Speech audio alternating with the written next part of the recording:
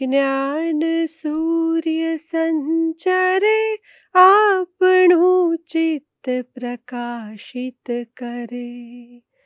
અહીં જ્ઞાન યજ્ઞ સહુ કરે, ચિત્તનું વિશ્વ વિકાસિત કરે.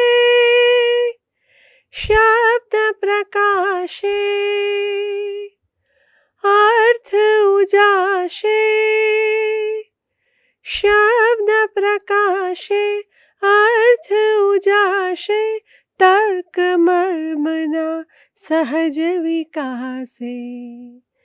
જ્ઞાનામૃત નિર્ઝરે અર્ઘ્ય સૌ સત્યદેવને ધરે. ધન્ય ગુર્જરીની શુભ દ્રષ્ટિ, વિશ્વકોશની એવી સૃષ્ટિ. તમસ તાપ સંહરે, અંતરે સુખ સમજણનું ઠરે. રેવા જળશી શક્તિદાયિની, સત્ય સમુદા મુક્તિદાયિની. વિશ્વ વિહારજ કરે શીલ સત્વ સંહરે ગુર્જરી વિશ્વરૂપને વરે ગુર્જરી વિશ્વરૂપને વરે ગુર્જરી વિશ્વરૂપને વરે ચંદ્રકાંતભાઈ લિખિત અલ્પાના સ્વરમાં આ અમારું વિશ્વકોશ ગાન આપણે સૌએ સાંભળ્યું. આજના વક્તા ડૉક્ટર શિલીનભાઈ. અને જેમને પોતાના આરોગ્યની બહુ બધી ચિંતા છે, એવા આપ સૌ. શિલીનભાઈ અમને વિશ્વકોશ પરિવારના છે અને લાગે પણ છે. શિલીનભાઈને બધા જુદી જુદી રીતે ઓળખતા હશે કે ડૉક્ટર છે, એ તો ખરું જ. સિવિલમાં વર્ષો સુધી કેન્સર હોસ્પિટલમાં રહ્યા, નિવૃત્ત થયા. એટલે ડૉક્ટર તરીકે તો ઘણા લોકો એમને મળ્યા હશે. પણ એ ઉપરાંત આપણને એમ થાય કે ડૉક્ટર હોય, એટલે ભાષા સાથે એમને શું નિસ્બત પણ ગુજરાતી ભાષાનું જોડણી કોષનું કામ હોય, સંસ્કૃત પણ એટલું જ સરસ, મૂળથી બધું પકડવાવાળા અને એટલે જ ગુજરાતી વિશ્વકોશના પચીસ ગ્રંથોમાં જ્યાં જ્યાં અમને મેડિકલ પરિભાષામાં તકલીફ પડી, ગુજરાતીમાં કોઈ ન લખી શકે એવી તકલીફ પડી, ત્યાં બધી જ જગ્યાએ અમને શિલીનભાઈએ ખૂબ મદદ કરી છે. એમના જ નેજા હેઠળ સંપાદિત થયેલું કેન્સરનું પુસ્તક લગભગ ચાર આવૃત્તિ તો થઈ ગઈ છે એની. અને એટલું બધું સુંદર છે કે કેન્સર વિશેની અંદર ઘણી બધી તમને માહિતી ઉપલબ્ધ થાય. એમના પિતા બહુ મોટા શિક્ષણકાર શ્રી નંદુભાઈ શુક્લ અને એમની જ યાદમાં એમના સ્મરણાર્થે વિશ્વકોશમાં શ્રી નંદુભાઈ શુક્લ શિક્ષણ અને સંસ્કાર વ્યાખ્યાન શ્રેણી અને એને લગતા કાર્યક્રમો, એક સેમિનાર શિક્ષણની પણ એટલી જ ચિંતા, ભાષાની ચિંતા. શિલિનભાઈને એમનું વક્તવ્ય આપવા માટે વિનંતી આપ સૌને મારા નમસ્કાર. મારે જે કહેવું છે ને, એ સહેજ જુદું છે. છે તો આ સાથે જ, સંબંધિત રસોડા સાથે જ. પણ અહીંયા રસોડાને બદલે કઠોડા શબ્દ છે. કેમ કે રસોડાનો વિષય બહુ વ્યાપક થઈ જાય એવો છે. પણ કેમ કે આ ટાઇટલ વિશ્વકોશની જ ઈચ્છા હતી. એટલે આ જ રાખ્યું છે, એટલે એને વિશે ત્રણ ચાર સ્લાઇડ રાખી છે પણ મારો મૂળ ઈરાદો જે કહેવાનો છે, તે કઠોળામાંનું આપણા સ્વાસ્થ્ય માટેની જે જે આપણા પૂર્વજોએ એ લોકોએ એમના ઓબ્ઝર્વેશનની પદ્ધતિથી કે જે રીતે શોધી કાઢ્યું. ફક્ત સ્વાદને કારણે જ એ બધું વસ્તુ થઈ હોય એવું લાગતું નથી. એટલે પણ આજના જમાનામાં આ જે બધી વાતો થઈ, જે દુનિયામાં આ કઠોળાને લીધે એટલે કે જે તેજાના અથવા તો આપણે કોન્ડિમેન્ટ્સ પણ કહીએ સ્પાઇસીસ કોન્ડિમેન્ટ્સ એના માટેના થોડાક અંગ્રેજ સંસ્કૃત શબ્દો એ જમાનામાં પણ લોકોએ વિચાર્યા હતા એટલે ડિક્શનરીઝમાં છે, એ મેં કાઢ્યા છે. પણ એ જે તેજાના અને મસાલાની જે વાતો છે, એના વિશે મારે તમારી આગળ જે કહેવાનું છે, એ વિજ્ઞાનની વાત કહેવાની છે. કેમ કે એને વિશે લોક માન્યતાઓ ઘણી બધી છે, ડોશી વૈદુ સાથે પણ એ સંકળાયેલું છે, અને આપણા દેશની જે ઉપચાર પદ્ધતિ છે આયુર્વેદ, એની અંદર પણ એના ઉલ્લેખો છે. પણ મારો એ વિષય પરનો અધિકાર નથી.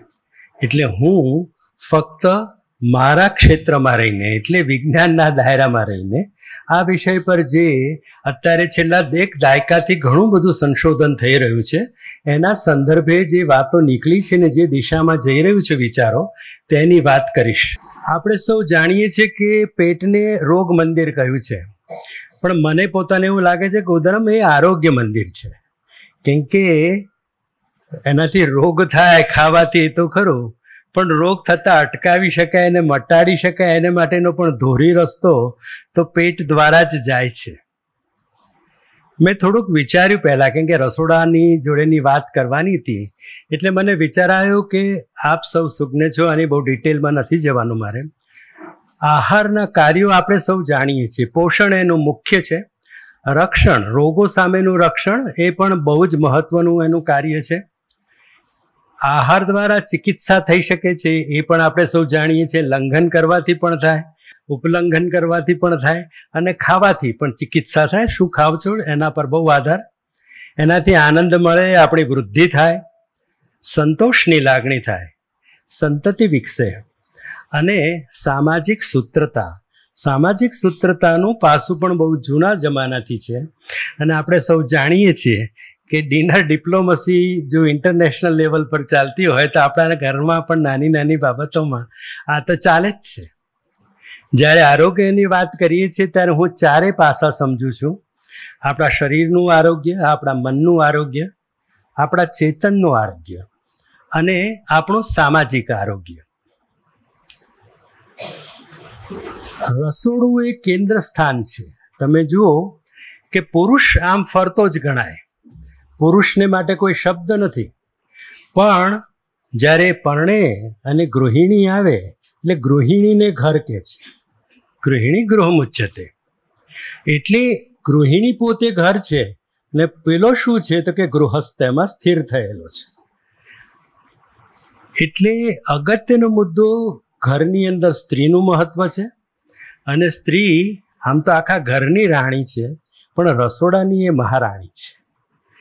એટલે આરોગ્યની બાબતો ઘણી બધી જેટલી કુટુંબને માટે જરૂરી છે ને અગત્યની છે, એટલા જ પ્રમાણમાં સ્ત્રીને સંબંધિત પણ છે.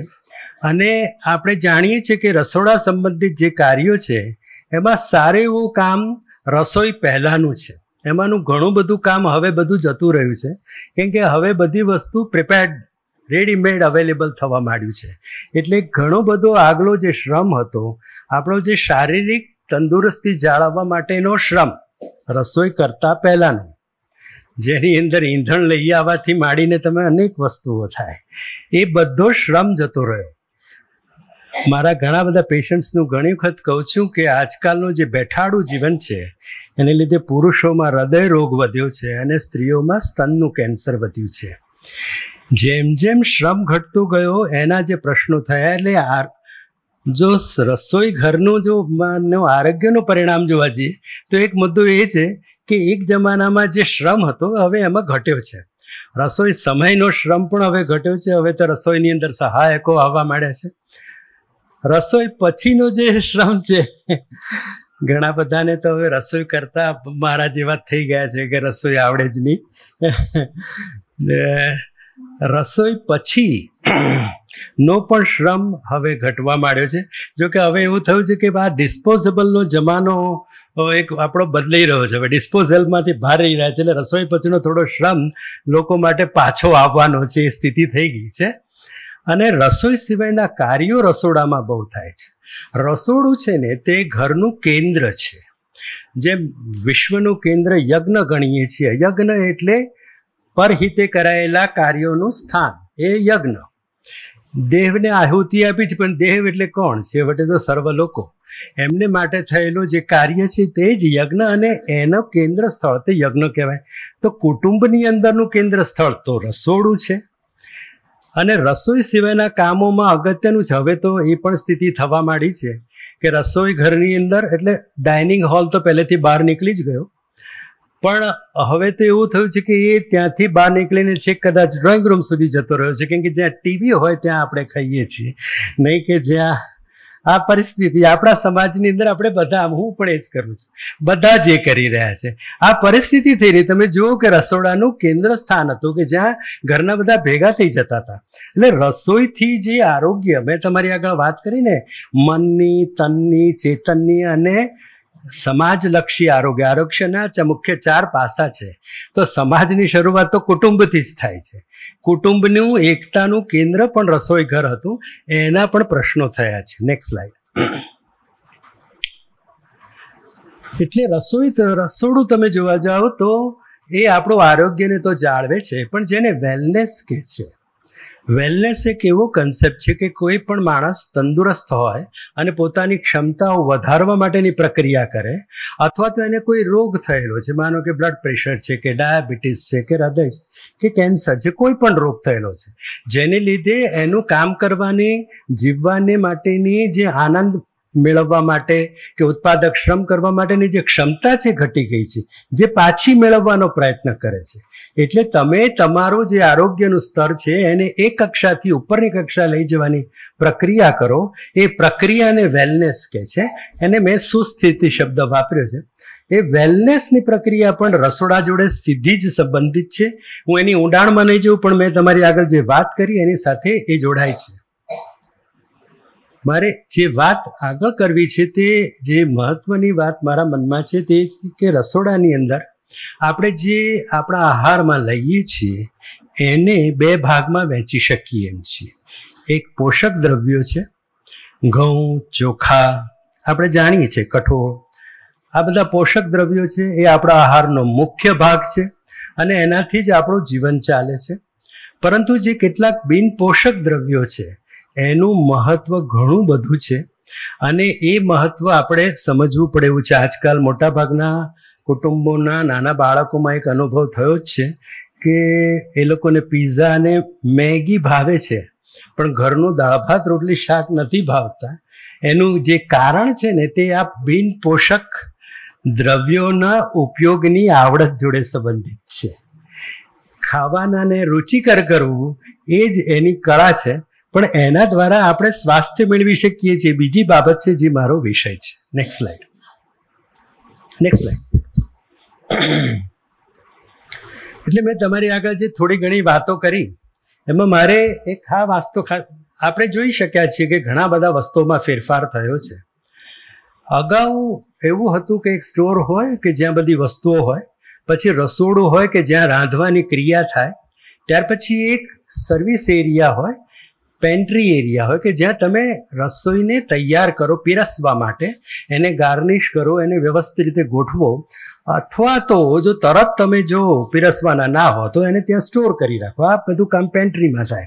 અને ત્યાર પછી તમે ડાઇનિંગ ટેબલ પર અથવા તો રસો જમવાની જગ્યા પર એ પહોંચાડો. આજકાલના રસોડામાં એક એવી પરિસ્થિતિ થઈ છે. હા હા. કે રાંધણની ક્રિયા ધીરે ધીરે ઘટવા માંડી છે. પશ્ચિમના દેશોમાં ખૂબ જ થયું છે અને જે આજે અમેરિકામાં થાય છે, એ કાલે ભારતમાં થવાનું છે નિશ્ચિત બાબત છે. કેમ કે આપણે બીજી બધી બાબતોમાં જોયું છે, તો આમાં પણ થશે જ. એટલે બહુ જ ટૂંકા સમયમાં આપણા રસોડા પણ પેન્ટ્રી જેવા બની જવાની સંભાવના છે કે જેની અંદર રેડીમેડ ખોરાક હોય અને ખાલી તમે એને તૈયાર કરીને પીરસો. આ સ્થિતિ ન થાય એ જરૂરી છે, કેમ કે એ આપણા આરોગ્ય સાથે સંબંધિત છે. એક છેલ્લી બાબત મેં આમાં લખ્યું છે તે અકસ્માતો. કેમ કે રસોડા વિશે જ્યારે વાત કરવી હતી અને આરોગ્ય વિશેની જ વાત કરવાની હોય, તો એક આરોગ્યની મહત્વની હાનિનું કારણ અકસ્માતો અને ઈજા છે. અને રસોડા એ ઘરમાં થતા ઘણા બધા અકસ્માતોનું મુખ્ય કારણ છે. ખાસ કરીને રસોડાની અંદર જ્યારે અગ્નિ ચાલતો હોય અથવા તો સ્વયં સંચાલિત કોઈ પણ સાધન ચાલતું હોય અને એને એટેન્ડ ન કરવામાં આવે, તો અકસ્માત થવાની સંભાવના બહુ છે. હવે ઊભા રસોડા થવાથી કેટલાક પ્રશ્નો ઉકલ્યા છે, પરંતુ આજે નવા જમાના વીજળી સાથે સંબંધિત અને અગ્નિ સાથેના સંબંધિત અકસ્માત હજુ રહ્યા છે. અને એટલા માટે જ્યારે રસોડા અને આરોગ્યની વાત કરીએ, હું આના ઊંડાણમાં આજે નહીં જોઉં, કેમ કે આજનો મારા વિષયના એમાં નહીં આવે, અને મારે મારા સમયની મર્યાદામાં રહેવું પડશે. નેક્સ્ટ સ્લાઇડ કઠોળાની અંદર આપણે જાણીએ છીએ કે સ્વાદ મુખ્ય બાબત છે. મારે એટલી જ વસ્તુ કહેવી છે કે આપણે સામાન્ય રીતે છ સ્વાદ સમજ્યા છીએ. ગોળ્યો છે, તીખો છે, કડવો છે, ખાટો છે. આ ચાર મુખ્ય છે અને તે વિજ્ઞાને સ્વીકારેલા છે. તીખો સ્વાદ નથી. તીખો ખરેખર તો સ્પર્શ વેદના છે. આપણી ચામડી જીભ પરની જે ચચરાટ થાય છે, એને આપણે તીખો કહીએ છીએ. અને તુરો તો એક અસ્વા સ્વીકાર્ય સ્વાદ છે કે જે આ ઉપલા કેમ ના આવે? અને તેને તેને આપણે ત્રણેય રીતે, એટલે સ્વાદ, ગંધ અને સ્પર્શની રીતે જોઈએ છીએ. આમે તમને કહું કે જ્યારે બી કોઈ વસ્તુનો સ્વાદ કહીએ છીએ, ત્યારે આપણે આ ત્રણેય વસ્તુ જોઈએ છીએ. જીભ પરની સ્વાદેન્દ્રિય, જીભ પરની સ્પર્શેન્દ્રિય અને નાકમાંની ગ્રાણેન્દ્રિય આ ત્રણ ભેગા થાય, ત્યારે જ જેને આપણે સ્વાદ અથવા તો આસ્વાદન કરીએ છીએ, તે થાય છે. નેક્સ્ટ સ્લાઇડ એટલે હું મારા વિષય પર આવું, કઠોળાનું આરોગ્ય. નેક્સ્ટ સ્લાઇડ તેજા, રુચિક ખરેખર મૂળ આનો ઉપયોગ રુચિકર બનાવવાનો છે. રુચિકર એટલે આપણને ખાવાનું ગમે એવું થવું જોઈએ. તેજાનો અથવા તેને સંસ્કૃતમાં મૂળ સમયમાં ગંધ દ્રવ્ય કહેતા હતા. ઉપસ્કર એટલે કે કોન્ડિમેન્ટ્સ કે જે વસ્તુ, ઉપસ્કર એ એ જૂના જમાનાનો સંસ્કૃતનો શબ્દ છે, જેનો સ્પેસિફિક અર્થ કોન્ડિમેન્ટ થાય જો કે કોન્ડિમેન્ટની ડેફિનેશન્સમાં બહુ ઇશ્યુઝ છે. આપણે મસાલો શબ્દ જાણીએ છીએ, આપણે વ્યંજનો જાણીએ છીએ. આપણે ફ્લેવરિંગ એજન્ટ્સ પણ જાણીએ છીએ. ફ્લેવરિંગ એજન્ટ્સ એટલે સ્વાદવર્ધક જે દ્રવ્યો હોય તે. અને ગાર્નિશિંગ પણ આપણે બધા સમજીએ છીએ, કેમ કે સુંદર રીતે વસ્તુ રજૂ કરાય. નેક્સ્ટ સ્લાઇડ તો સ્પાઇસીસ જે આ કઠોળાનું મુખ્ય વસ્તુ છે એની ડેફિનેશન શું છે? એમાં છ મુદ્દાઓ છે જે મેં છેલ્લે નીચે લખ્યા છે. ઉપલી વસ્તુને સમરાઇઝ કરી છે.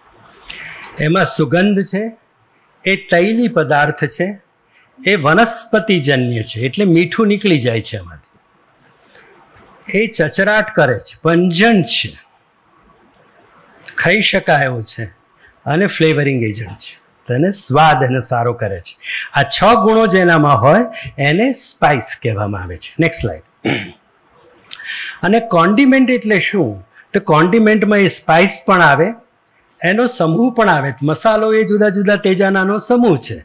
ચોક્કસ માત્રામાં ચોક્કસ વસ્તુઓનો સમૂહ. વ્યંજનો પણ છે. કેટલીક વાનીઓ આપણે બનાવીએ છીએ, તે પણ એની સાથે આવે છે. અને આને થોડી લંબાવી દઈએ ડેફિનેશન તો મીઠા જેવા કે જે સ્વાદ માટે મહત્ત્વના કહેવાય, પણ આ ડેફિનેશનમાં ના આવતા પદાર્થને પણ આપણે કોન્ડિમેન્ટમાં લઈ શકીએ. નેક્સ્ટ સ્લાઇડ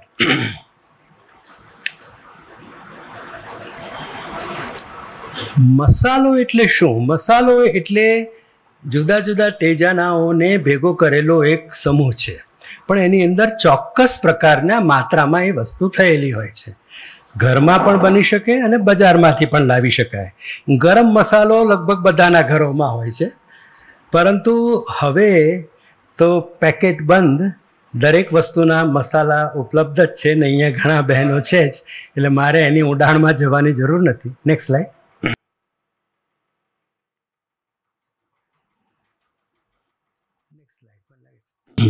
આ સ્લાઇડમાં મેં જે કહ્યું હતું એવું છે કે દુનિયાની અંદર એકસો ને નવ જેટલા તેજાના ને ઓળખી કાઢવામાં આવેલા છે. અને ભારતની અંદર એમાંના સાહીઠ જેટલા તેજાના ભારતમાં ઉગે છે. એમાંના ત્રીસેક જેટલા તેજાના આપણા રોજબરોજના જીવન સાથે સંકલિત પણ છે ને એની વિશેની હું થોડું વાત કરવાનો છું. પણ બહુ ઇન્ટરેસ્ટિંગ બાબત એ છે કે આ તેજાના કે જે ભારતમાં પહેલેથી ખૂબ બનતા હતા અને કેટલાક તેજાનાનો ભાવ તો સોનાથી વધારે છે. એટલે સારે એવું તેજાના આમે મોંઘા છે અને કેટલાક તો ખૂબ મોંઘા છે. એને લીધે એક જમાનામાં ભારતની જે જલાલી હતી, એમાં જે ઘણા બધા કારણો હતા, એમાંનું એક કારણ આ તેજાના હતું.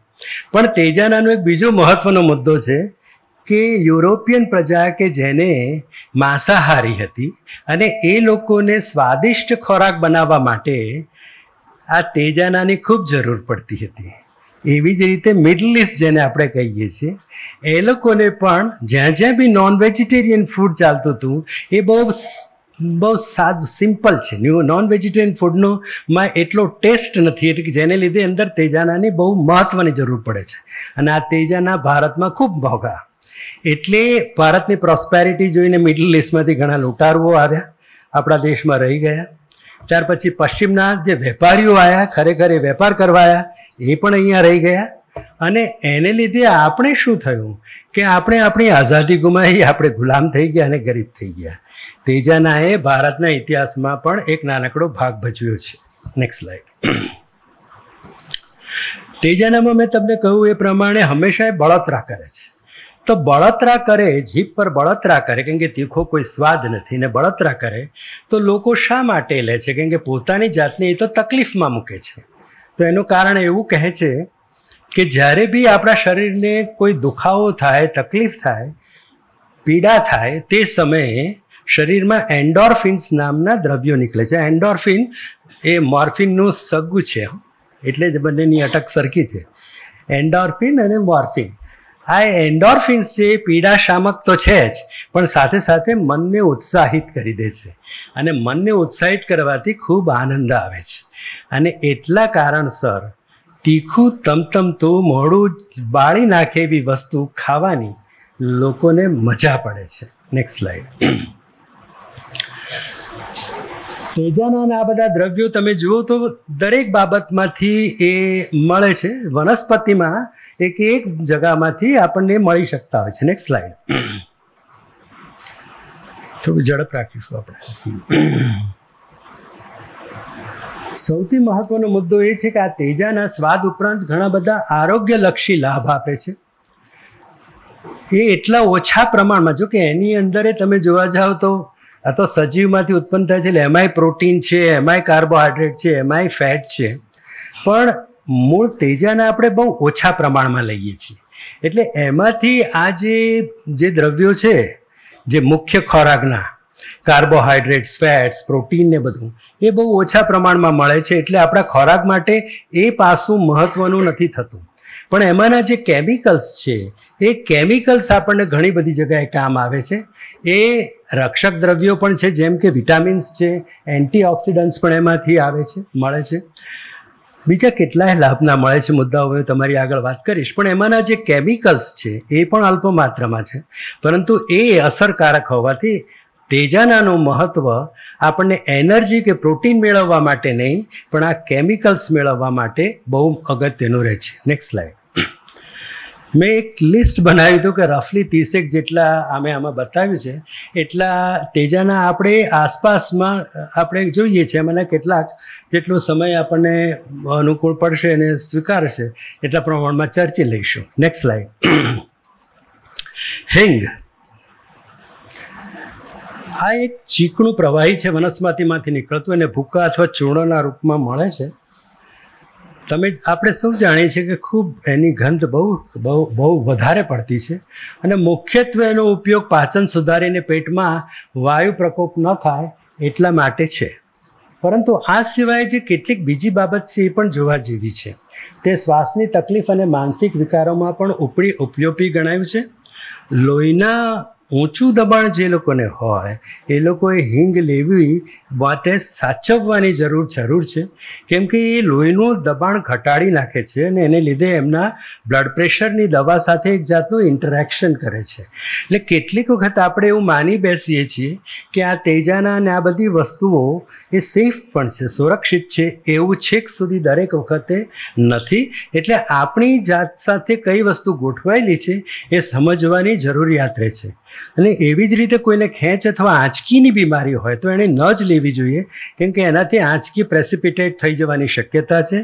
અને માટે સ્ત્રી, સગર્ભા સ્ત્રીઓ અને શિશુ માટે તો એ સેફ ગણાતું જ નથી, એટલે ન આપવાની સ્પષ્ટ સૂચના છે. Next slide તમાલપત્ર. તમાલપત્રનો એક મોટો લાભ તમે જો જોવા જાઓ, તો એ સ્નાયુઓને શિથિલ કરે છે. અને કંઈ વાગ્યું હોય ત્યારે આપણે શોથ શબ્દ ઘણી વખત આવશે. હું તમને એની વિશે વાત કરી દઉં. શોથ એટલે આપણને શરીરમાં ચેપ લાગ્યો હોય અથવા વાગ્યું હોય, એટલે શરીરને પેશીને કોઈક રીતે ઈજા થઈ હોય, તો ઈજા થાય ત્યાર પછી એને રૂઝવવાનું કામ શરીરે કરવાનું હોય છે. એટલે સૌથી પહેલું જે શરીર એના તરફ પ્રતિક્રિયા રૂપે જે કાર્ય કરે છે એને શોથ અથવા ઇન્ફ્લમેશન કહે છે. આ શોથને લીધે ત્યાં સોજો આવે છે ત્યાં દુખાવો થઈ જાય છે, એ ભાગ લાલ થઈ જાય છે. એને એને સ્પર્શ કરવામાં મુશ્કેલી પડે છે અને ઘણી વખત એ ભાગ હલાવી શકાતો નથી. આપણને ગુમડું થઈ ગયું, જેમ કે કહીએ, તો ત્યાં એ શોથનો વિકાર થયેલો છે. આ શોથ બધી જગાએ છે. હું તમને કહું, ફેફસામાં કફ થાય ને ન્યુમોનિયા થયો, તો ફેફસાનો એ શોથ છે. શોથ એક ઇન્ફ્લેમેશનની એવી પ્રક્રિયા છે કે જે ચેપ અને ઈજા સામે આપણે રૂઝવવાની પ્રક્રિયા જે કરીએ છીએ, એનું પહેલું પગલું છે. પણ આ ઇન્ફ્લેમેશન બહુ અગત્યનું છે, કેમ કે ઇન્ફ્લેમેશન ક્યારેક હૃદયરોગ તરફ લઈ જાય છે, ક્યારેક કેન્સર તરફ લઈ જાય છે, એ બધા પાસા નવા શોધાયા છે. આ જે તમાલપત્ર છે, એ સ્નાયુઓને શિથિલ કરે છે અને પેલો જે સોજો અને પીડા કશે વાગ્યું હોય તો ઘટાડે છે, એટલે એનું તેલ તો ખૂબ જ ઉપયોગી છે. જ્યારે એને લેવામાં આવે છે, ત્યારે ગ્લુકોઝ અને કોલેસ્ટ્રોલને ઘટાડે છે એલડીએલ ટાઈપનું એટલે જોખમી કોલેસ્ટ્રોલ ઘટાડીએ એચડીએલ વધારે છે એટલે હૃદયરોગ સામે તમાલપત્ર એક જાતનું રક્ષણ આપે છે. તે ઇન્સ્યુલિનની અસર પણ સુધારે છે. આમ એ મધુપ્રમેહ અને હૃદયરોગ બંનેમાં ઉપયોગી કહેવાય એવું એક છે. મારે તમારી આગળ એક વાત કરવી છે કે દરેક વસ્તુના પોતાના ઘણા ગુણો છે. પણ આ બધી વસ્તુ બહુ અલ્પ માત્રામાં લેવાની હોવાથી આપણે એને ખૂબ મોટા પ્રમાણમાં લઈ શકતા નથી. આના પર સંશોધનો થઈને ઔષધો જ્યારે વિકસશે ત્યારે આપણને કેટલાક લાભ મળવાના છે. ફરક એટલો જ છે કે આ બધી વસ્તુઓને આપણે આપણા ખોરાકની અંદર જાળવી રાખવાની છે. કેમ કે દરેક વસ્તુ જુદી જુદી, થોડા થોડા પ્રમાણમાં જે લાભ આપી અને એકંદરે આપણને જે આપણા લાગતા મહત્ત્વના રોગો છે, જે કેન્સર છે મધુપ્રમેય છે, બ્લડ પ્રેશર છે, ડાયાબિટીસ છે, આ બધા રોગો સામે અનેક જુદા જુદા આવા દ્રવ્યો કામ કરી રહ્યા છે, જે આપણને લાભ આપી શકે એમ છે. કોઈ એક વસ્તુને પકડી અને ખૂબ ભારે માત્રામાં લેવામાં જોખમ છે. નેક્સ્ટ સ્લાઇડ ઇલાયચી આપણે સૌ જાણીએ છીએ, ખૂબ વાપરીએ છીએ. એક અગત્યનું મુદ્દું છે સેફરન પછી, એટલે કેસર પછી બીજે નંબર મોંઘું ગણાતો હોય તો આ તેજાનો છે. આપણે સૌ જાણીએ છીએ કે ગેસ થયો હોય, અપચો થયો હોય, કે શ્વાસની તકલીફ થઈ હોય, ક્યારેક ઉપકા ઉલટી જેવું થયું હોય, તો એ ઘટાડી નાખે છે. બહુ મોટી, બીજી મોટા ફાયદા નથી, પણ એક વસ્તુ છે કે એમાં લિમોનિન નામનું એક દ્રવ્ય છે, અને આ દ્રવ્ય કેન્સરના કોષોને એપોપ્ટિસિસ એટલે જાતે મરી જાય એવું કરાવે છે. એટલે ઇલાયચીનો આ એક ગુણ. હવે આ બધી વસ્તુ સંશોધન માટે જવાની છે. તમારે મારે માટે તો ઇલાયચી જ્યારે લો, ત્યારે લેવાય એટલે સાવ ન જ લેતા, આવું કશું ન કરતા. નેક્સ્ટ સ્લાઇડ લાલ મરચું. લાલ મરચું આપણે જુદી જુદી જેને લાલ મરચું કે જેને લીલું મરચું કે પણ લીલું મરચું લીલું નથી, પણ તાજું મરચું છે અને પેલું સૂકું મરચું છે. આ જે લાલ મરચું છે, એ એ આપણને માટે ખૂબ કામનું છે. આમ જોવા જાઓ ને, તો આ આ મરચું શબ્દ એ જ બધી, એટલે આ જે મરચું તો આપણે ગુજરાતીમાં કહીએ છીએ, પણ જેના પરથી પીપર શબ્દ આવ્યો છે, એ મૂળ સંસ્કૃત શબ્દ એ જ ઘણા બધા જગાએ અર્થો કાઢ્યા છે નવા. લાલ મરચાંમાં બીજ અને છાલ બંને વસ્તુઓ હોય છે. જ્યારે એનો ભૂકો કરીએ, ત્યારે એ થોડું ઓછું તીખું થાય છે. ખાસ કરીને એની તીખાશ છે, તમે તમે જોયું કે બી, જે એના બી છે, એના પરના પીળા ટપકા જે દેખાય છે, એમાંનું જે રસાયણ છે, એ જ એની તીખાશ અને એ જ એના બધા ગુણો પણ ધરાવે છે. જે કંઈ સ્વાસ્થ્ય દર્શક ગુણો છે, એ પણ એ પીળા ભાગની અંદર જ છે. એવું કહે છે કે નાનું અણીધાર મરચું ગોલ છેડાવાળું હોય તો એ લાંબા મરચા કરતાં ઓછું તીખું હોય. પણ મરચાના બીજ એની છાલ કરતાં વધુ તીખા છે અને એ બીજના પીળા ભાગમાંનું કેપ્સેસિન નામનું દ્રવ્ય એની મુખ્ય ક્રિયાઓ કરે છે. નેક્સ્ટ સ્લાઇડ એવું જોવામાં આવ્યું છે ને આ બહુ જ મોટા વૈજ્ઞાનિક અભ્યાસને અંતે તારણ કાઢવામાં આવ્યું છે. લગભગ તેર કે ચૌદ વર્ષ લાંબો ચાલેલો, વીસેક હજાર જેટલા માણસો ઉપરનો આ પ્રયોગ હતો. અને એમાં એમણે જોયું છે કે અઠવાડિયામાં જે લોકો બે એક વખત તીખો ખોરાક લે છે, એ લોકોમાં દસ ટકા જેટલો મૃત્યુ દર ઘટે છે. એટલે મૂળ મુદ્દો તો પેલું જે દ્રવ્ય છે, એનો જ આ ગુણ છે. લીલું મરચું હૃદયરોગ અને કેન્સર સામે રક્ષણ આપે છે. તે એલડીએલ કોલેસ્ટ્રોલ એટલે જે ખરાબ પ્રકારનો કોલેસ્ટ્રોલ છે, તેને ઘટાડે છે. તે ફેફસા પ્રોસ્ટેટ અને મોટા આંતરડાના કેન્સરના કોષોને મારે છે. વળી તે રોગકારક જીવાણુઓને પણ મારે છે. એટલે ત્યારે તો રેફ્રિજરેશનને લીધે પ્રિઝર્વેશન બહુ સહેલું થઈ ગયું, પણ જૂના જમાનામાં જ્યારે પ્રિઝર્વેશનના એ ઇસ્યુ હતા ત્યારે મરચાંનો ઉપયોગ પ્રિઝર્વેશન માટે પણ થતો હતો, કેમ કે એની એ એન્ટી બેક્ટેરિયલ એક્ટિવિટી છે. આ જે કંઈ બધી એક્ટિવિટીઝ છે, એને લીધે અલ્ટિમેટલી એવું જોવાયું છે કે મરચું ખાવાથી, ખાસ કરીને લીલું મરચું ખાવાથી લીલું ને લીલા રંગનું નહીં, હં, તાજું, દસ ટકા જેટલો મૃત્યુદર ઘટે છે. નેક્સ્ટ સ્લાઇડ એમાં વિટામિન સી છે. ને આપણે સૌ જાણીએ છીએ કે ઘણા બધા લોકો રોટલો અને મરચું ખાઈને પણ સુખેથી જીવી શકે છે. એના, એમાં એક આનો વિટામિન સીનો એક મોટો લાભ છે. વિટામિન સી એન્ટીઓક્સિડન્ટ છે અને એન્સી એન્ટીઓક્સિડન્ટ ઘણા બધા જે મોટી ઉંમરે થતા રોગો, જેને આપણે ડિજેનરેટિવ ડિઝોર્ડર્સ કહીએ છીએ, એ બધા લોહીની નસોના રોગો, હૃદય રોગ કેન્સર વગેરે વગેરે અનેક રોગો. એ બધાને થતા અટકાવવામાં એન્ટીઓક્સિડન્ટ્સનો બહુ મોટો રોલ છે ને વિટામિન સી એમાંનું એક એન્ટીઓક્સિડન્ટ છે. એક ઇન્ટરેસ્ટિંગ છે કે જો એનો મલમ બનાવવામાં આવે તો એ પીડાનાશક કરે છે જો કે આ ઉપયોગ એનો થતો નથી. નેક્સ્ટ સ્લાઇડ કોથમીર અને ધાણા. કોથમીરના પાનના સોડમવાળા અને કડવાશભરી મીઠાશવાળા હોય છે. પાવ પેસ્ટ્રી વગેરેમાં તો થાય ઠીક છે. જે લાલ અક્ષરમાં લખેલું છે, એ જો જોઈએ તો ધાણા મીઠાશ ધરાવે છે એટલે મુખવાસમાં આપણે ખાસ વાપરીએ છીએ. મીઠાને બદલે જ્યારે કોઈ આ પણ એક સ્વાદ માટે એક ઓપ્શન અવેલેબલ છે, જ્યારે એ કેમ કે એની અંદરની ખારાશ ઉપયોગમાં લેવાય છે. અને એને સંશોધન ક્ષેત્રે કેન્સર વિરોધી ભાજી કહી છે. કેમ કે આના ઉપર અત્યારે સંશોધનો ચાલે છે. નેક્સ્ટ સ્લાઇડ તજ અથવા દાલચીની.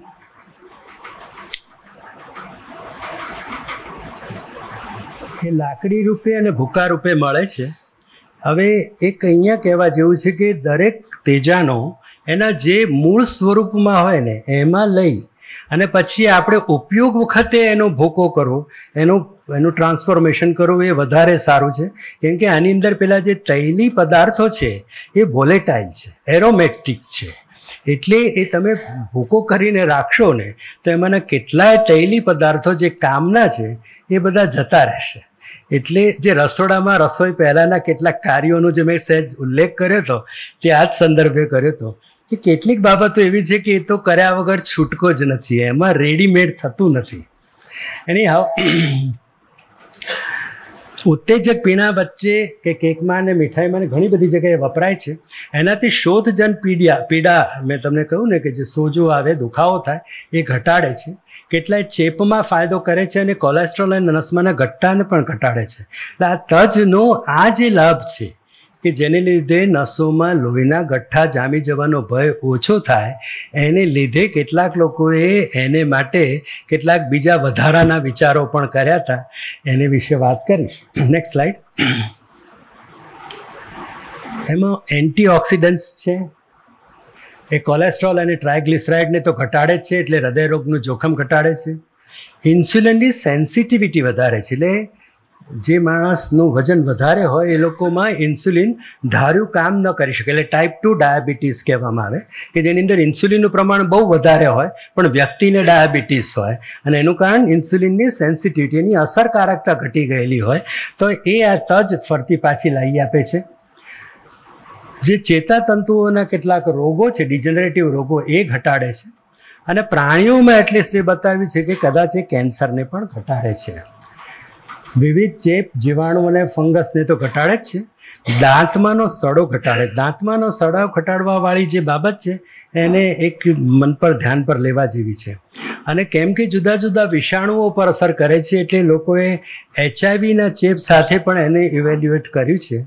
અને ઓફકોર્સ આને માટેની કોઈ દવા આવી નથી, પણ આ તો એક માહિતી રૂપ જ અત્યારે આપણે માટે કહી શકાય. નેક્સ્ટ સ્લાઇડ પરંતુ આ ટચ થોડા પ્રમાણમાં લેવી શકાય, વધારે ના લેવાય. દરેક બાબતમાં જે જોખમ છે. આની તો કેટલીક ચોક્કસ આડઅસરો આપણા જાણમાં જ આવી ગઈ છે. એક તો એ લીવરને એટલે કે યકૃતને નુકસાન કરે છે. પેરેડોક્સિકલી એ પોતે કેન્સર પણ કરી શકે. મોંમાં ચાંદા પાડે, લોહીમાં ગ્લુકોઝ ખૂબ ઘટી જાય કેમ કે ઇન્સ્યુલિન સેન્સિટિવ વધે. શ્વાસોશ્વાસમાં તકલીફ થાય. અને બીજા ઘણા બધા ઔષધો સાથેની ઇન્ટર, ઇન્ટરેક્શન પણ છે. એટલે જે માણસ ઘણી દવાઓ લેતો હોય, એણે તજ લેતા પહેલાં સાચવવું જોઈએ. એક અગત્યનો મુદ્દો છે તે આ છે કે બહુ લોકો એવું કહે છે કે તજ અને મધ આ બે લેવાથી વજન ઉતરી શકે. તો આવું વૈજ્ઞાનિક તપાસમાં તો નથી એવું નિશ્ચિત છે. એટલે એ ફક્ત માન્યતા છે. નેક્સ્ટ સ્લાઇડ લવિંગ.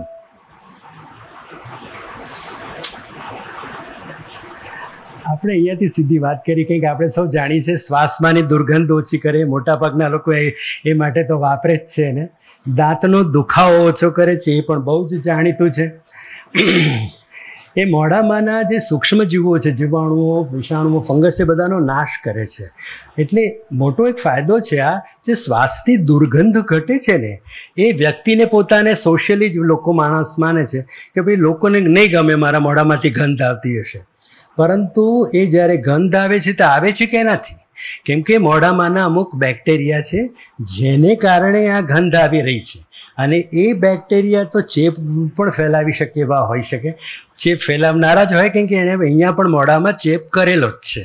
માટે લવિંગ, જેને મોઢામાં લવિંગ રાખ્યું છે, એના બ્રેથની અંદરના બેક્ટેરિયાનું પ્રમાણ ઘટ્યું છે એવું પણ જો સાબિત થયું છે. એટલે એકલી દુર્ગંધટ ઘટાડે છે એવું નથી. પણ સાત કે દુખાવો ઘટાડે છે એટલું જ નથી. પણ સામાજિક રીતે તો આપણે બીજાઓ માટે ઓછા જોખમી બનીએ છીએ, તે પણ એક એનો મુદ્દો છે. જે દાંતનો દુખાવો ઘટાડે છે એનું કારણ એ ચેપ ઇન્ફેક્શન કંટ્રોલ કરવાનું નથી, પણ જે અહીંયા નીચે લખ્યું છે તે છે સ્થાનિક નિશ્ચેતક એટલે લોકલ એનેસ્થેટિક છે. એ જગ્યાને એ બહેરી કરી નાખે છે અને બહેરાશ લાવવાથી જ્ઞાનતંતુઓનું અંદરનું ચેતન સહેજ ઓછું થવાથી આ દાંતનો દુખાવો ઘટેલો લાગે છે. એટલે લવિંગને લીધે એ સડો મટતો નથી, પણ ફક્ત એનો દુખાવો ઘટે છે. Next slide next slide kokum હવે તો મને લાગે છે બહુ ઓછા લોકોના ઘરમાં હશે. એ ફળ છે.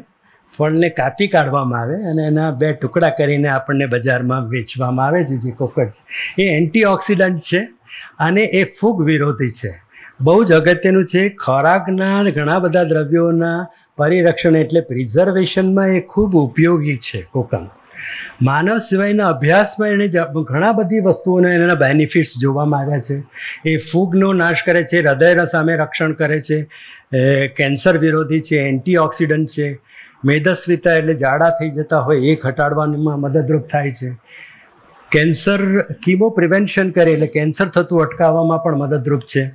અને જે લોકોને ટેન્શનને લીધે જઠરમાં ચાંદુ પડી જાય, તો એ ચાંદુ થતું અટકાવવામાં પણ કોકમ ઉપયોગી છે.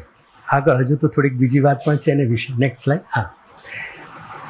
હા તો મેં અહીંયા એક એટલા માટે જસ્ટ મૂક્યું છે કે મારે એટલું જ કહેવું હતું કે આ બધી વસ્તુઓ છે તે રેફરન્સીસ છે સાયન્સ સાથે આવેલી છે. એટલે પરંતુ એક જ મુદ્દો છે કે ઘણી બધી વસ્તુઓનું ફાઇનલ તારણ પર આપણે નથી પહોંચ્યા, પણ ટ્રેન્ડ એમાં આપણને સમજણનો અત્યારે આવી રહ્યો છે. એટલે એ એ એન્ટીઓક્સિડન્ટ તો છે જ, જેથી ઘણા બધા વૃદ્ધાવસ્થાના રોગો ઘટે, સોજો ઘટે, દુખાવો ઘટે કેન્સર ઓછું થાય, એ જ સામેના વિષાણુઓને પણ એ સપ્રેસ કરે. તમે જુઓ કેટલા બધા તેજાનાઓ વિષાણુઓ સાથેને ખાસ કરીને એચઆઈવી જેવા વિષાણુ સામે પણ અસરકારક છે. આવી એક સ્થિતિ છે. અને તણાવથી જાદુ ઘટી જાય છે. નેક્સ્ટ સ્લાઇડ ચામડીમાં થતી એલર્જી કે જે રેશ થયેલી હોય એ પણ એ ઘટે છે. એમાંનું ઘી અથવા માખણ જે અંદર કાઢવામાં આવે, એ દાજા ઉપર લગાડી શકાય છે. જે સ્કાલ્સ કે શીત દાહ થયો, ઠંડકને લીધે જે ચાંદા પડી ગયા હોય, કે ઘાવ વગરની ઇજાગ્રસ્ત ચામડી પર એ રાહત આપે છે. શરબ, એનું શરબત લૂ લાગ્યો હોય તો એ રક્ષણ આપે છે. અને આપણે ઘણી બધી વસ્તુઓમાં કોકમને વાપરીએ છીએ. કદાચ આપણે ત્યાંથી અહીંયા કેટલાક બહેનોને તો ખ્યાલ હશે કે પગની પાની ઉપરના જે પેલા જે ચીરા પડી જાય છે, એમાં કોકમનું ઘી લગાવવાથી ફાયદો થાય છે. એનું મૂળ કારણ એ છે કે એનું જે ફંગસ મારવાની જે ક્ષમતા છે, ત્યાં ફંગસ ઇન્ફેક્શન મુખ્ય હોય છે. એ કારણસર કોકમનું એ ઘી એ એ સામે આપણને રક્ષણ આપે છે. નેક્સ્ટ સ્લાઇડ જીરું. એનું જે સક્રિય આ મને લાગે છે કામ નથી કરતું બહુ. એનું જે સક્રિય દ્રવ્ય છે ને થાઇમોક્વિનોન છે. યુનાની પદ્ધતિમાં એને વિશે ઘણી બધા ક્લેમ્સ કરવામાં આવેલા છે જીરું માટેના, પણ આ બધા વૈજ્ઞાનિક રીતે સાબિત નથી થયેલા કે લોહીનું દબાણ ઘટાડવામાં, ઝાડાના ઉપચારમાં ભૂખ જગાડવામાં પીડાનાશક, જીવાણુનાશક તરીકેનો ઉપયોગ થયો છે. પણ અત્યારે જે વિજ્ઞાન જે એને માટે સંશોધન કર્યું છે ને જેમાં એમને થોડા હિન્ટ્સ મળ્યા છે, તે એ છે કે એ દુખાવો કેન્સર શોધજન વિકાર, જીવાણુજન્ય ચેપ અને મધુપ્રમેયની અસરો સામે રક્ષણ આપતું હોય એવું લાગે છે. એટલા આપણે કેટલી વસ્તુઓ આપણે તો જો આમાંથી નીકળી ગઈ છે આપણા ખોરાકમાંથી, પણ એ લોકોને એ બધાને પાછા લઈ આવવાની જરૂર છે. એ મારો આજની વક્તવ્યનું એકમાત્ર, એક લીટીનું જો સારાંશ હોય તો એ જ છે. નેક્સ્ટ લાઈન મીઠો લમડો. એમાં થાઇમોલ, મિન્ટ, તેલ અને મેન્થોલ છે, એ જીવાણુનાશક છે. એ પોતે દાંતનો સડો રોકવામાં ઉપયોગી છે. અહીંયા બહુ અગત્યનું છે. કેમ કે જીવાણુઓને જે મારે છે, એને લીધે દાંતનો સડો જો ન થયો હોય તો અટકાવવામાં મદદરૂપ થાય છે. એટલે એના પણ કોગળા કરી શકાય. મીઠા લીમડો ચાવી જાઓ અને પછી પાણીથી મોડું રિન્સિંગ કરો. એ એની પદ્ધતિ છે. આ ઉપરાંત એ દારૂથી થતા યકૃત વિકારમાં પણ લાભ આપે છે. નેક્સ્ટ સ્લાઇડ એમાં બીજા બધા તત્વો તો ખૂબ છે બધા, પણ તમે જોશો તો એમાં બે મહત્ત્વના તત્વો છે અને તે છે કેરોટીન અને બીટા કેરોટીન, જેની માત્રા ઘણી મોટી છે. જે આપણી આંખની દ્રષ્ટિ માટે ઉપયોગી કહેવાય એવા વિટામિન્સ છે. અને એની અંદર ક્લોરોફિલ અને બીજા આલ્કલોઇડ્સ પણ છે જે કેન્સર સામે પણ સક્રિય છે એવું એવિડન્સ મળેલું છે. નેક્સ્ટ સ્લાઇડ વરિયાળી. નીચલી લાઈન જોજો. એ એન્ટીઓક્સિડન્ટ છે, કેન્સર વિરોધી છે, શોથનો વિકાર ઘટાડે છે, શ્વાસમાં રાહત રાહત આપે છે મૂત્રસ્રાવ વધારે આપે છે, ઉલટી રોકે છે, લોહીનું દબાણ ઘટાડનાર છે. ઘણા બધા વરિયાળીના લાભો છે. નેક્સ્ટ સ્લાઇડ એક સહેજ આગળ, આગલી સ્લાઇડ લો ને ભાઈ. પણ એક અગત્યનો મુદ્દો જે વચલા બોક્સમાં મેં લખ્યો છે તે છે કે ડિસ્મેનોરિયા એટલે ઋતુસ્રાવ વખતે બહેનોમાં જે સખત દુખાવો થતો હોય, તો એ દુખાવામાં રાહત આપતું આ તેજાના છે. અને એને માટેનો જે રેફરન્સ છે મેં અહીંયા તમારી આગળ મૂકી રાખ્યો છે. નેક્સ્ટ સ્લાઇડ મેથી. મેથી બહુ સુંદર વસ્તુ છે. જોકે ઘણા બધા, મારે માં, હું નાનો હતો ત્યારે મારી માં દાળમાં મેથી નાખતી. મને નહોતું ગમતું એટલે બંધ કરી દીધું ને એણે જીરું નાખવાનું શરૂ કર્યું. તો મને લાગે છે કે અમે ભૂલ કરી. પણ પાછળથી હવે છેલ્લા લગભગ દસ બાર વર્ષથી, વીસેક વર્ષથી વીસેક વર્ષથી હવે અમે મેથી લઈએ જ છીએ. અને એના ઘણા લાભ છે એટલું હું તમને કહું. એ લોહીમાં ગ્લુકોઝ ને ચરબી ઘટાડે છે. એટલે કોલેસ્ટ્રોલ ઘટાડી આપે. એ તો બહુ મોટો એક લાભ છે જ એનો. ભૂખ લગાડે, અપચો ઘટાડે. ટાલ એનું એનું તેલ વાળ પર માથામાં ટાલ પડી હોય તો એ માટે વાપરી શકાય છે. તાવ ઉતારે છે, સ્નાયુઓનો દુખાવો ઘટાડે છે. નેક્સ્ટ સ્લાઇડ આ જે મેથી છે ને, એનો આમાં જે નથી ઉલ્લેખ મેં કર્યો, એનું કારણ કે મને રેફરન્સ અત્યારે તરત ન મળ્યો. અને તે છે સાંધાના દુખાવા માટે. એ એનો બહુ જ મોટો અને જાણીતો ઉપયોગ છે. અનફોર્ચ્યુનેટલી મને એનો રેફરન્સ નથી મળ્યો એટલે મેં અહીંયા લખેલું નથી. પરંતુ આ એક કદાચ અગત્યનો એક લાભ છે. કદાચ મને રેફરન્સ મળશે તો વિશ્વકોશમાં કહેશું ક્યારેક છાપશું ત્યારે લખી કાઢીશું. પણ અત્યારે મારી પાસે નથી. પણ છતાં એ માન્યતા ખૂબ જાણીતી છે. એકચ્યુઅલી અમે એને લીધે જ શરૂ કરેલું કે મેં કોઈ ટીચર આપણે જીવીએ ત્યાં સુધી ચાલતા રહેવા જોઈએ. લસણ અને ડુંગળી આ બંને છે ને તે મેડિકલી ઘણી બધી વસ્તુઓ કોમન છે બંને વસ્તુ માટેની. જે આમાં લસણ વિશે છે મોટાભાગનું ડુંગળી માટે પણ સાચી છે. આમાંની જે છેલ્લી લીટી છે એ કામની છે. હૃદય રોગ સામે લાભકારક છે. કેન્સર સામે રક્ષણ આપે છે. એન્ટીબાયોટિક છે. જીવાણુઓને નાશ કરે છે અને લોહીમાંનો ગ્લુકોઝ ઘટાડે છે. પરંતુ આનો અર્થ એવો નથી થતો કે મધુપ્રમેયની દવા બંધ કરી અને લસણ લેવું. એવો અર્થ નથી થતો. કેમ કે એ માટેનો જે થેરાપ્યુટિક ડોઝ બહુ વધારે પડતો થાય જે આપણે લઈ ન શકીએ. અને એની પછી આડઅસરો વિશેના જોઈએ એટલા અનુભવો નથી. એટલે જે આ બધી વસ્તુ સાથે સાથે પણ આપણા ખોરાકના ભાગરૂપે રહ્યા કરે એવી રીતની વાત આપણે કરવાની છે. નેક્સ્ટ સ્લાઇડ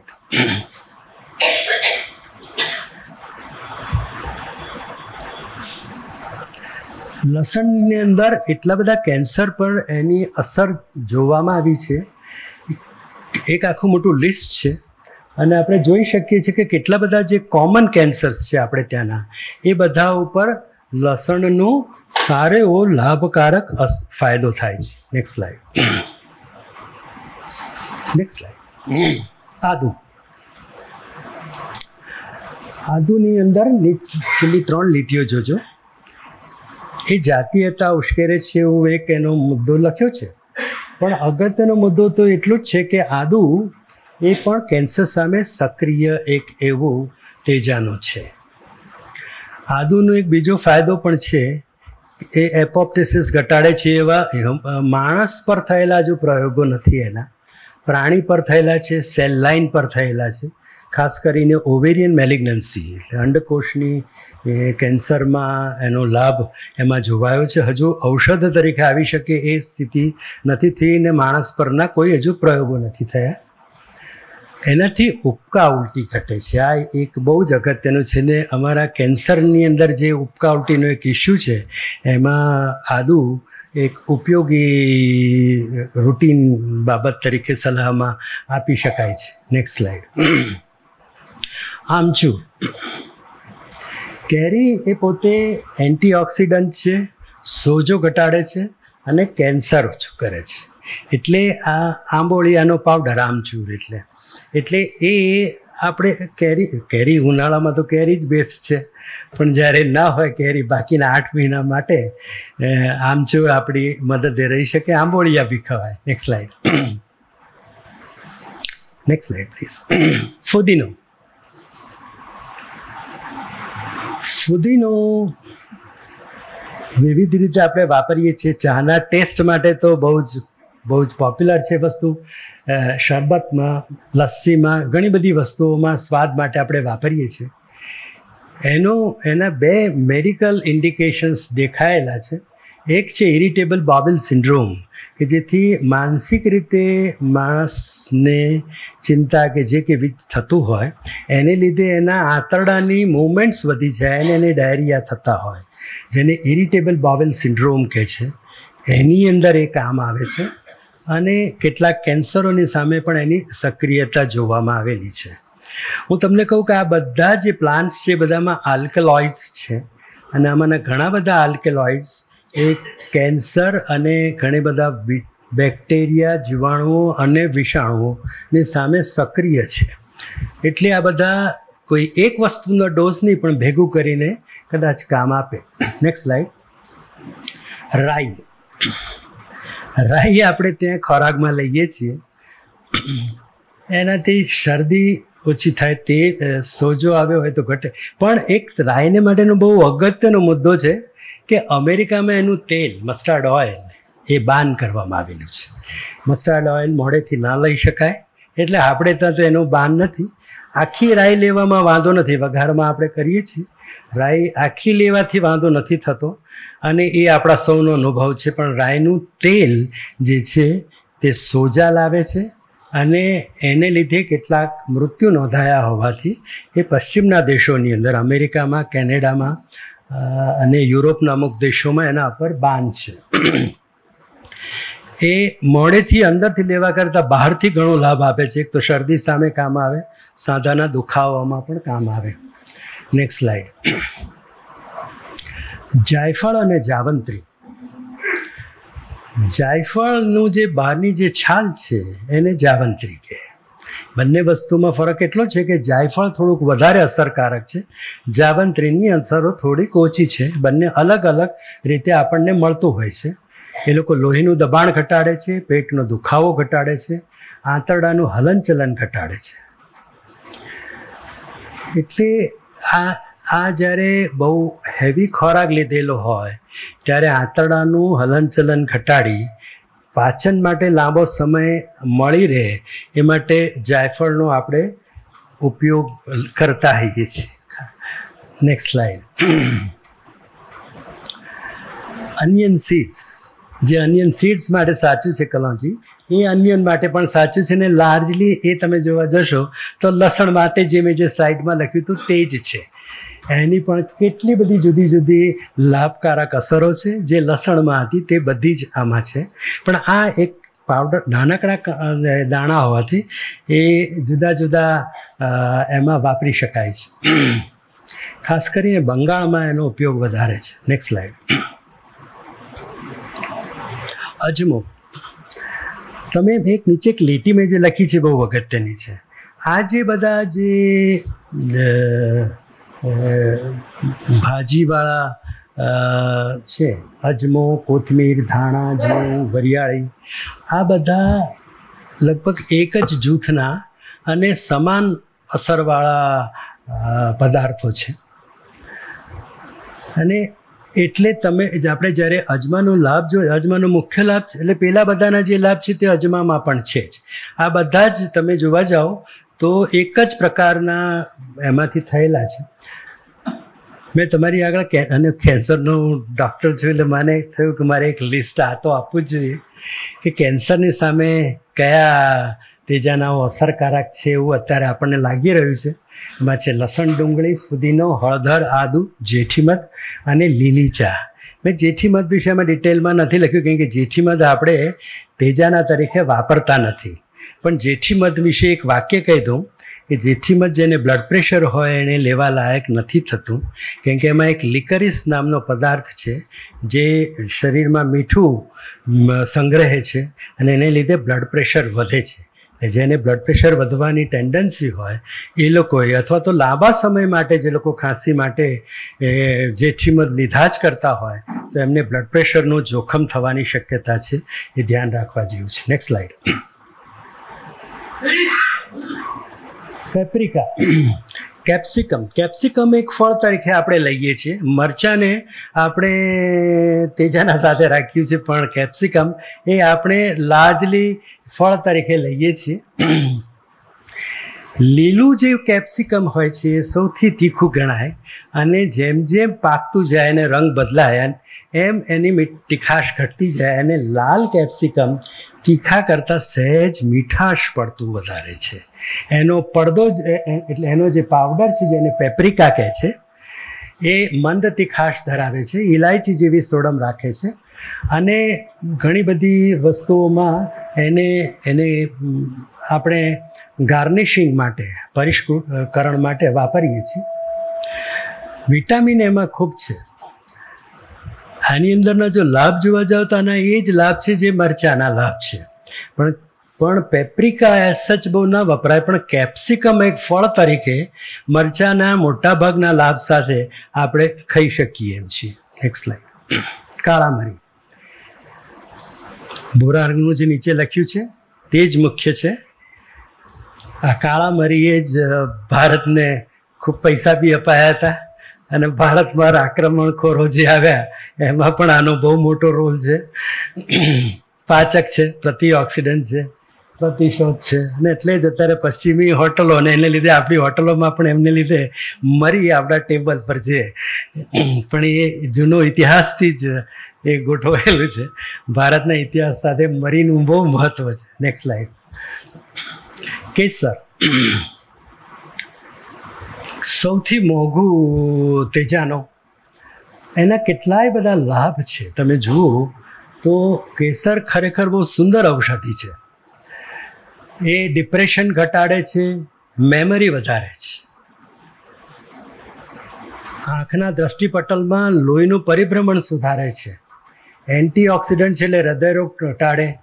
શરીરનો દુખાવો ઘટાડે. વાગ્યું હોય તો પેલો જે સોજો આવે ને દુખાવો થાય એ ઘટે.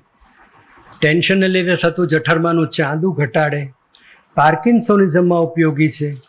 જનીનો ઉપર સૌથી પહેલું આ એક એવો તેજાનો છે કે જે જીન્સને પ્રોટેક્શન આપે છે એવી એને માટે માહિતી આપણી પાસે છે. કે જીનો, જનીનો ઉપરની ઝેરી અસર ઘટાડે છે ને એની એની મ્યુટેશન્સ જ્યારે બી જનીનોમાં વિકૃતિ થાય ત્યારે કોઈક રોગ થાય.